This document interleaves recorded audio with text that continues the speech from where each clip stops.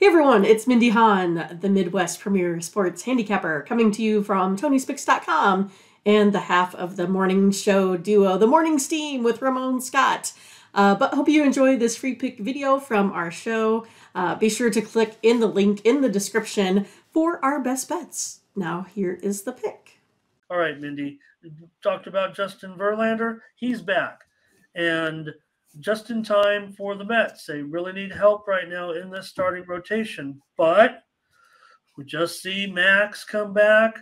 I, you know, they're at comparable points in this career in their careers. If anything, we've seen Verlander come back from uh, being sidelined time and time again, and absolutely looks terrific. So, uh, if anything, I, I don't want to equate it to Max's return, but my history tells me Max does take a little bit of time. His was a suspension, don't forget, but you know, uh, Verlander coming back from uh, injury here, and uh, again, he just uh, maybe he just keeps his uh, keeps himself in perfect shape. Whoa. I don't know. I don't know what's up with my dog. I don't know if she wants to go outside. Maybe she wants the maybe she wants the Tigers here after what happened yesterday. right. Uh, well, I mean, I'm kind of looking at the Tigers here today after what happened yesterday. Uh, I mean, have we forgot about uh, Mr. Rodriguez and his 0.66 ERA at home? I mean, this guy's pretty good. And you don't know what you're going to get here out of uh, Verlander today. Uh, plus the Tigers, right? They were scoring 2.88 runs per game. They're now up to 4.43 runs per game. So I think that's a lot more respectable uh, than what it has been. I'm taking the Tigers.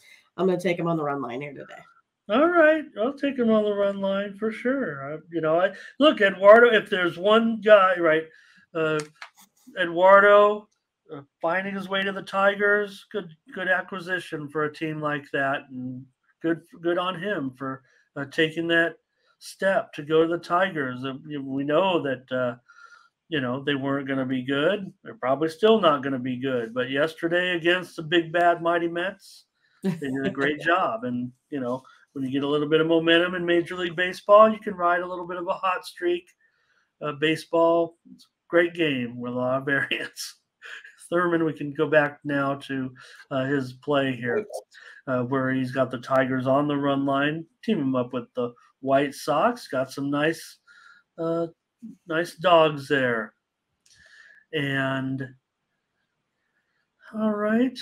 Oh, good point. Uh, good point, JD, on that Cubs game. Bionic on the Tigers. Under first five, Luis Benegas. Expecting, obviously, uh, Verlander to be ready. Tigers spread. Look at that. Got that Tiger up there.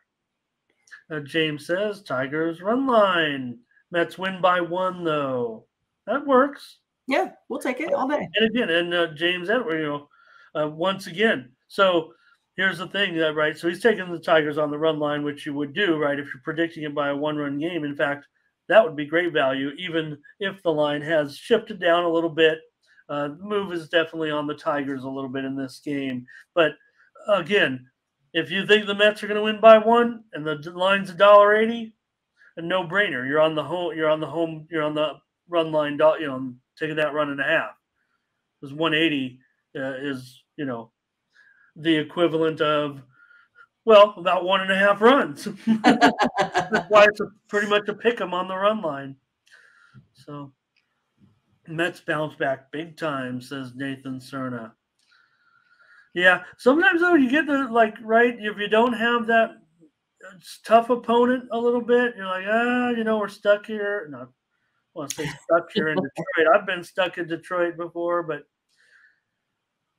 it's a great city. Still, so still a great city.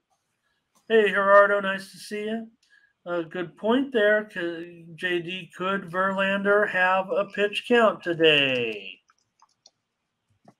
So, well, I was going to see if there was any beat writers that were kind of hinting at uh, maybe if there was one today, but try to get something up there. But mostly just no, mostly just uh, mostly just speculation, really. And um, there's a Nerfy here for Joel. And Butterscotch, nice play here under first five. And Gerardo's betting. Gerardo's got that KBO uh, KBO card going today.